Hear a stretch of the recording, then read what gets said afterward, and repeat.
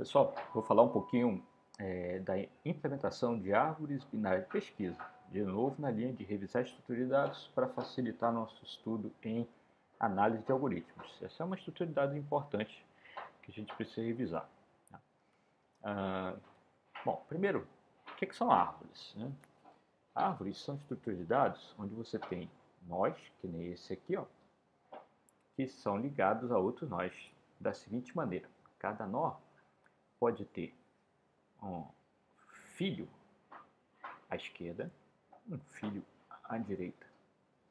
E em algumas implementações de árvore, ele pode ter uma ligação com outro nó que é o pai dele. Tá? Então, aqui, nesse exemplo de árvore, esse nó é a raiz, o primeiro nó da árvore é chamado de raiz. Nós vamos sempre representar uma árvore por um apontador para a raiz dela. É, eu digo onde começa, que é a raiz.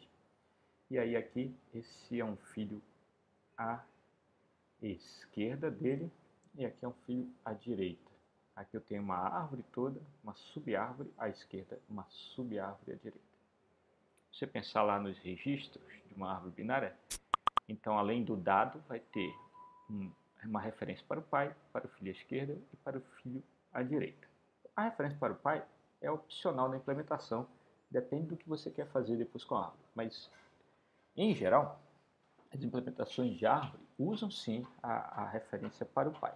Nós vamos ver um exemplo de implementação sem ela, mas em geral é bastante útil. Ah, antes de seguir falando de implementação das árvores é, binárias de pesquisa, Vamos ver por que é chamar de árvore binária de pesquisa e o que é uma árvore binária de pesquisa. A ideia de uma árvore binária de pesquisa, a primeira ideia é a seguinte, dado qualquer nó da árvore, como esse aqui, ó, a raiz, você tendo uma chave aqui, no exemplo 10, eu sei que ah, toda a subárvore à esquerda tem que ter elementos menores do que esse valor, 10. E toda a subárvore à direita tem que ter elementos maiores e o 10. Isso considerando que eu não tenho repetição de chaves. Se eu tiver repetição, eu tenho que escolher para que lado vai ficar, vão ficar as chaves iguais. Então vamos lá. Essa árvore aqui, ó, ela é uma árvore binária de pesquisa. Primeiro porque eu tenho só dois filhos, no máximo, em cada nó. Aí vem o nome binária, binária de ter dois filhos. E segundo porque, ó, se eu pegar qualquer nó aqui, vale essa regra que eu falei. Ó. Se eu pegar aqui esse nó, que tem o 5, e olhar todos os elementos que estão à esquerda dele, só tem o 2, que são menores. Todos à direita só tem o 7, que é maior.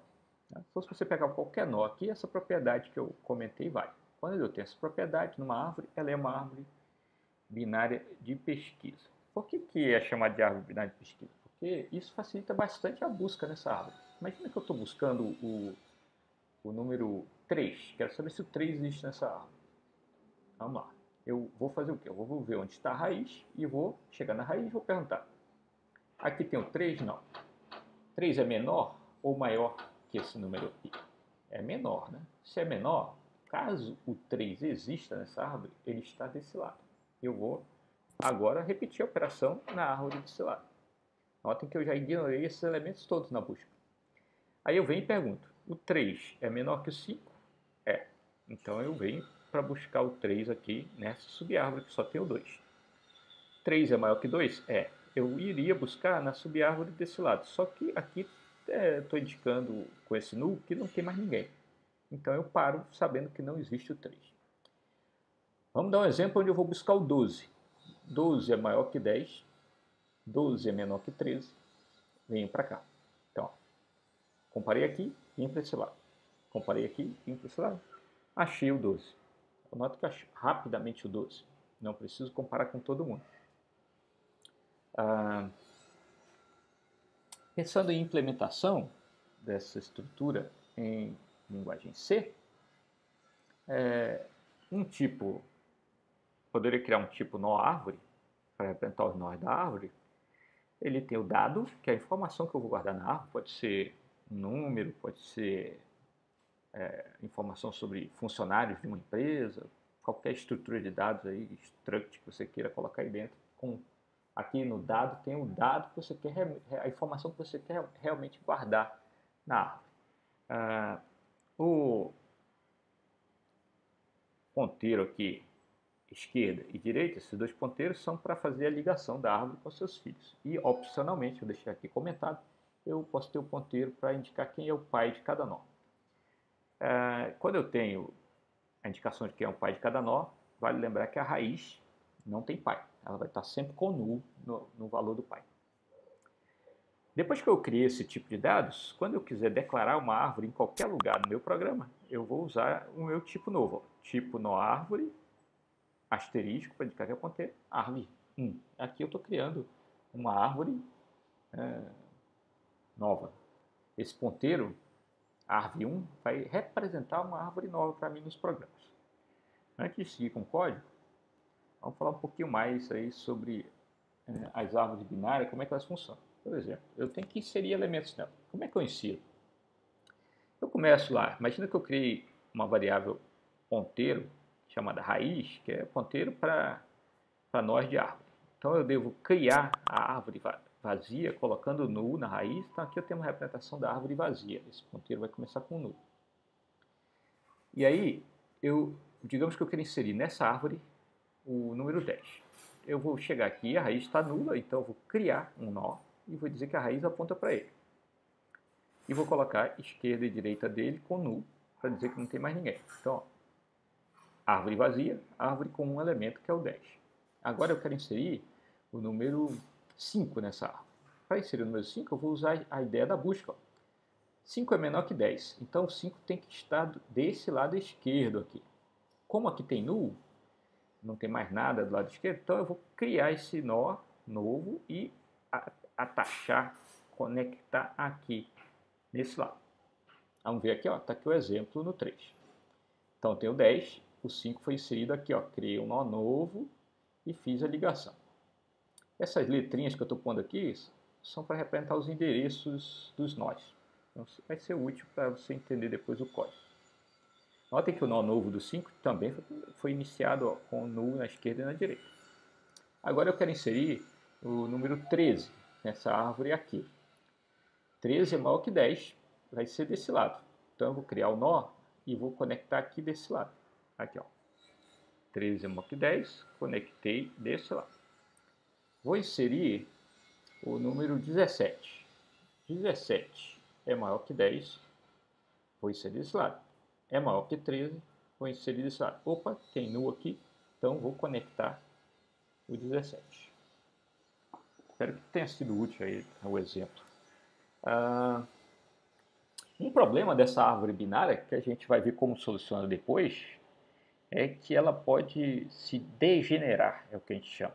Quando ela fica degenerada, ela fica que nem uma lista encadeada. Aqui, ó. aqui parece uma lista encadeada. Ponteiro para o primeiro, para o segundo, para o terceiro, para o quarto. Né? Ah, por, como que isso acontece? Se eu inserir de maneira ordenada, ó, 5, 10, 13, 17, o que vai acontecer? Eu vou inserir o 5, criei o nó, quando eu for inserir o 10, ele vai inserir a direita aqui. E aí, quando eu for inserir o 13, 13 é maior que 5, vem para cá. 13 é maior que 10, vem para cá. Coloca aqui. E assim vai.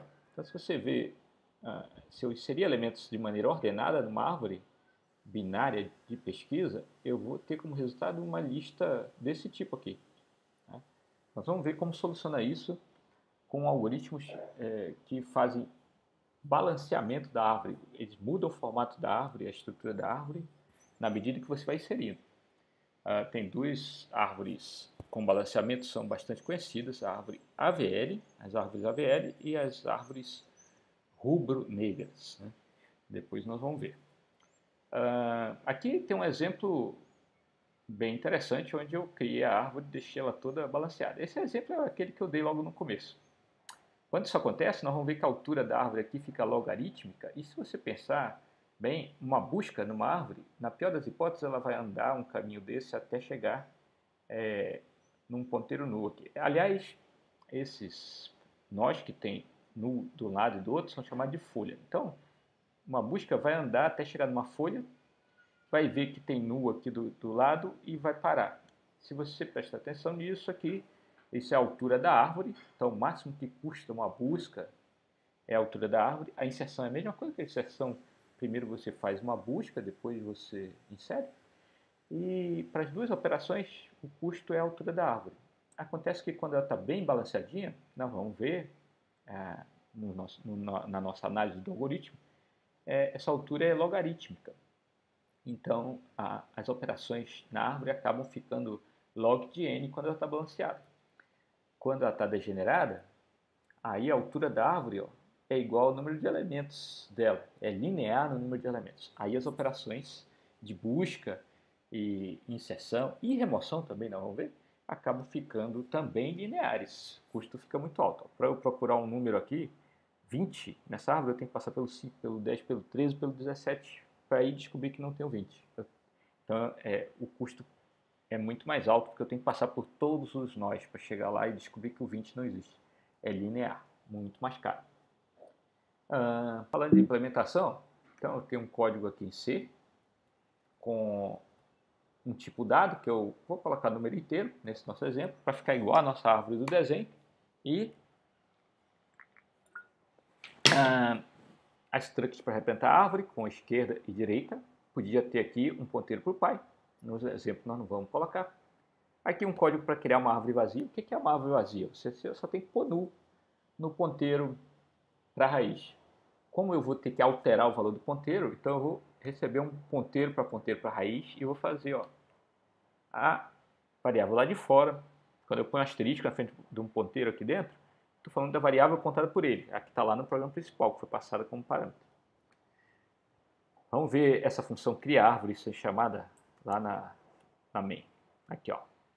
Lá no meu programa principal, eu posso criar uma árvore, que nem a gente deu no exemplo, arv1, e chamo a criar árvore passando o endereço do meu ponteiro. Para quê? Para que ele volte com null daqui.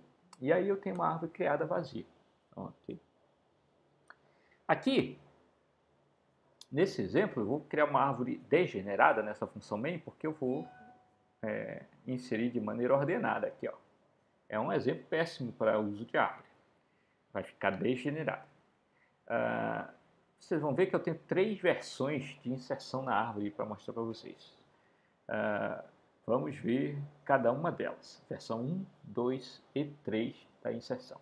Bom, vamos começar vendo é, um exemplo recursivo versão 1 do inserir na árvore. Na versão 1, ó, eu vou atualizar os ponteiros nas chamadas, né, dando um return no, no resultado. a ideia é a seguinte, a primeira vez você vai passar uma raiz que tem nu, digamos, estou com uma árvore vazia, né? e um dado. Aí o que vai acontecer aqui? Raiz é nu? Não. Então, ele sai, vai para o else. Aí ele aloca um nó. Vamos ver isso no PowerPoint para ajudar a entender. Aqui, ó, no nosso exemplinho, está acontecendo lá. Raiz está com null. E eu chamei a função de inserir, né, passei essa raiz. E aí o que, que ele fez lá dentro? Criou um nó com malloc. Esse foi o nó criado aqui, o ff0. E aí, quando eu criei esse nó, é, eu dei um return do resultado. Vamos lá. É, olhando aqui no código novamente. Vou colocar lado a lado aqui para facilitar. Então, passei a raiz aqui com null. Raiz era null. essa linha do malloc criou esse nó aqui, ó. Essa linha atribuindo dado colocou 10 aqui dentro do nó. Aí eu coloquei esquerda e direita null, estou colocando esquerda e direita null quem está com esse valor do FF0 aqui é o Ausha.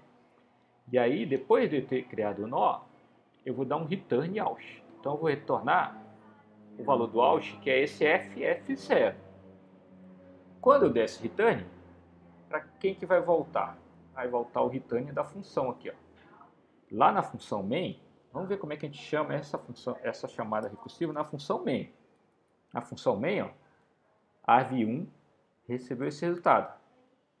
Então o AV1 vai receber aquele valor do, do nosso AUSH, vai receber o F, F0.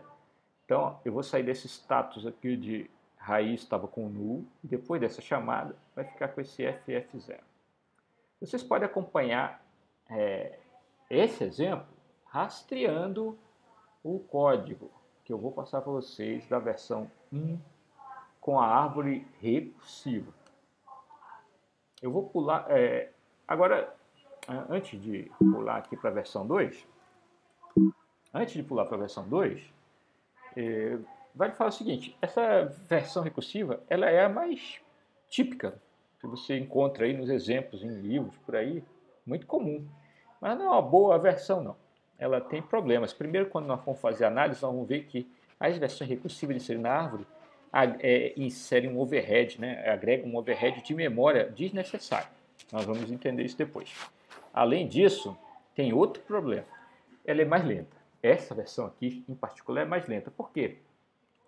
Tem todo o overhead das chamadas recursivas. Além disso, ah, esse return que eu estou passando aqui, que eu poderia não precisar dele, eu estou retornando valores aqui, passando cópia de ponteiro desnecessariamente a cada chamada recursiva que eu estou fazendo. Isso dá um pequeno overhead a mais aí também. Então é um código que nem é muito rápido, nem é eficiente em termos de uso de memória. Isso nós vamos entender na análise, a questão do uso de memória. Tá? Eu vou com uma versão 2 recursiva. Na versão 2, eu, eu eliminei um dos custos extras que nós tínhamos na versão 1. Foi basicamente isso que eu fiz. Ao invés de dar return na raiz, eu estou passando a raiz por referência, ponteiro para ponteiro. Passar de ponteiro para referência, ponteiro para ponteiro. Então, minha função vai ser capaz de alterar a raiz diretamente. Então, ó, notem que eu nem criei a variável auth, já economizei um pouquinho de memória aí com isso. E o resto do código é muito parecido, só muda que agora, quando eu chegar no nu, eu vou alterar o, o valor do meu ponteiro para a raiz. Uh, notem que agora eu não passo o raiz esquerda e o raiz direita, eu passo o endereço do raiz esquerdo e o endereço da raiz direita. Se você olhar lá no PowerPoint, é, vocês entenderem aqui, era uma coisa assim, ó. Antes, se eu estivesse chamando a função, eu passaria o valor de raiz para a função na versão 1, que é ff0, e aí eu passaria o valor BDA e assim vai. Agora não, eu estou passando um endereço dessa variável raiz e quando ela caminha para cá, eu passo o endereço dessa variável que tem o, o ponteiro BDA e assim vai. O que, que eu ganho com isso? É, vamos ver aqui, ó, quando eu tenho um nó, eu passo o endereço da raiz, aí eu vejo que o que eu tenho que inserir, o 5, é menor, eu vou passar o endereço dessa variável que está com nu aqui, é o raiz direita, mas é o endereço dele que eu vou passar. E aí, como ele tem nu, eu vou alocar um novo nó, usando essa informação do endereço de BDA para entregar o resultado para dentro desse ponteiro. Como é que eu faço? Faço asterisco é, na frente do ponteiro. Olha lá, na função Aqui, ó, asterisco raiz. A variável apontada por esse meu ponteiro raiz é que vai receber o resultado do malloc. Nesse exemplo do PowerPoint aqui, quem é a variável apontada? É esse quadradinho aqui que estava com null antes, que vai receber o resultado do malloc, a variável apontada por raiz. Então o que eu fiz foi poupar ali, é, tirar aquela necessidade de criar o auth e tirar a necessidade de fazer return com aquele auth. Vocês vão, se vocês testarem essas duas versões, vocês vão ver que há um ganho de velocidade ligeiro aí, mas é um ganho né? É, com essa mudança. Vamos ver uma versão que eu considero melhor para inserir na árvore. Ela, ela é,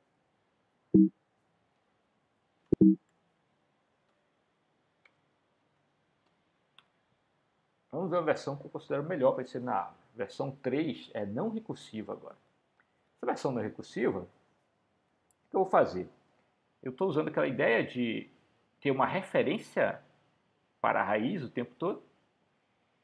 Vou continuar com o caminhamento para a esquerda, para a direita, sempre passando referências. Ao invés de passar o ponteiro direto, eu passo referências para né? Então, por exemplo, se eu decido que tem que inserir na árvore à direita, eu passo uma referência para a raiz dela, que é o alt seta d. Referência que eu estou falando aqui é o endereço, ó, endereço de alt seta d. E com isso, lá no final, eu posso fazer o, o malloc e tudo e usar essa referência para atualizar o ponteiro diretamente. Então rastreiem esse código, lembrando que eu estou assumindo que todo mundo aqui está vendo esse vídeo, sabe programar, já passou pelo menos por aí deu. Rastreiem esse código para entender. Se tiverem dúvida, vocês podem mandar e-mail para tirar dúvidas lá no Colab Web. Ah, qual é a vantagem dessa versão? Eu não tenho chamada recursiva e isso nós vamos ver que se traduz em benefício é, no uso de memória. Você reduz um pouco o uso de memória. Se vocês compilarem e, e experimentarem é, as três versões que eu vou passar para vocês, vocês vão ver que essa versão 3 ela tem um desempenho bem parecido com a versão 2, eventualmente vai ser ligeiramente melhor, mas parecido. A versão 1 é mais lenta. E a versão 3 tem uma vantagem muito boa, que é o uso de menos memória. Então, os algoritmos de manipulação de árvore, é, o ideal é que você os implemente sem usar recursividade. Fica melhor. Ah, vamos ver um exemplo da busca. Vou fazer a busca na árvore já sem recursividade. Tá? Então, ó, eu recebo aqui um ponteiro para a raiz da árvore, que eu vou chamar de Aush, e enquanto o Aush não for nulo, eu vou ver se o dado é maior, o dado que eu estou buscando é maior, que a raiz, se for maior, eu ando para a direita. Aqui, ó, ando para a direita. Aush, Aush, seta de, estou andando para a direita.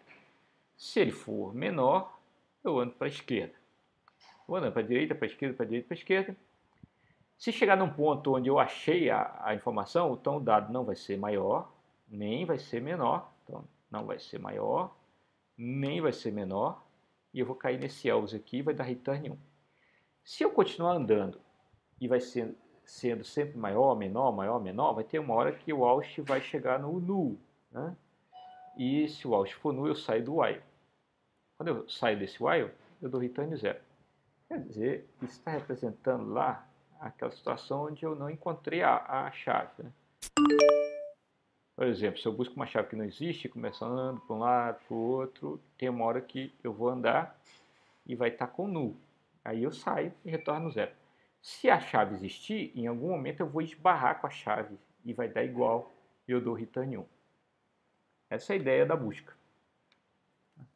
Eu espero que essa revisão tenha sido útil para vocês sobre árvores binárias. Eu vou dar uma limpada no código do, das três versões e vou passar para vocês estudarem tiver em dúvida, pode entrar em contato comigo. Uh, num outro vídeo eu vou mostrar como remover, para complementar, para não deixar esse vídeo grande, e vou comentar com vocês um pouquinho de implementação das árvores binárias com balanceamento. É isso.